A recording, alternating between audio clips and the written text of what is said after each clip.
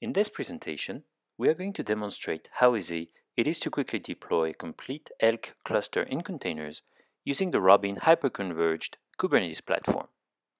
The first thing we need to do is log into Robin.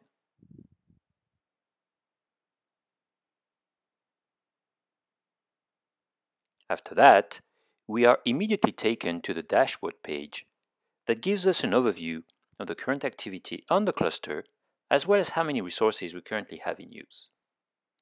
To deploy a new cluster, we go to the Applications menu and then to the Bundles page.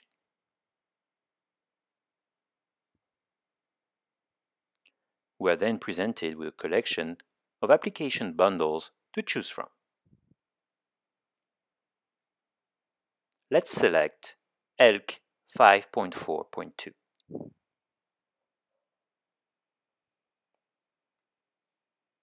On the deployment page, we start by giving the application a name as well as a pool of IP addresses to choose from. Let's call it ELK 542. These IP addresses are used to configure the different pods when they are initially created. Robin currently supports Open vSwitch as well as Calico. Let's use the demo IP pool.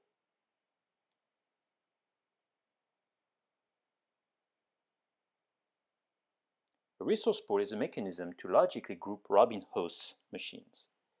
This is used to control where the different tenants in the system are able to deploy their containers. In our case, we only have one.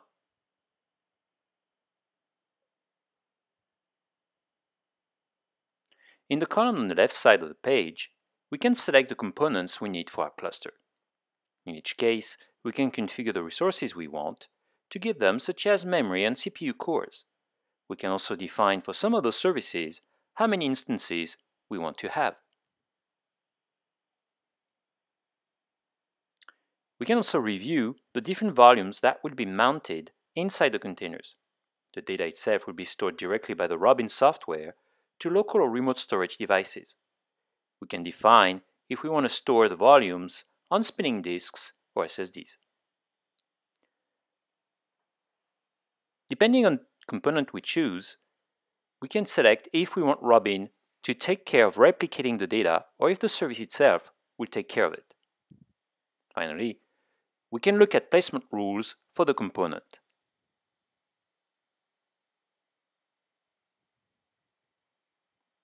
Those rules are used to define affinity and anti-affinity rules, and we can thus define how we want or don't want the containers to be deployed.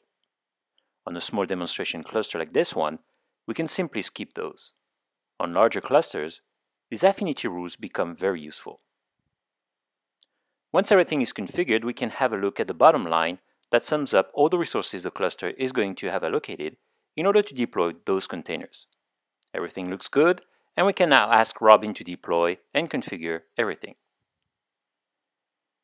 Robin will then compute where the different containers should be deployed based on the resources we asked for and the different placement rules, if any.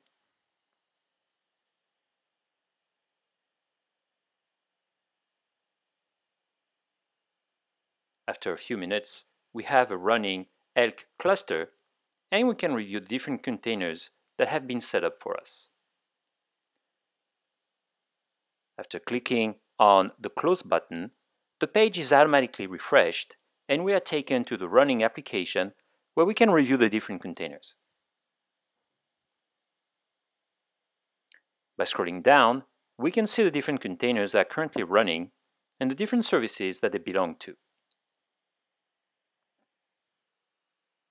We also have information about the containers themselves, such as the host name, the exposed port number, and the container IP address. In the upper right corner of the page, we have a drop-down menu called Service Info that allows us to get direct access to the different consoles relevant for the application we just deployed.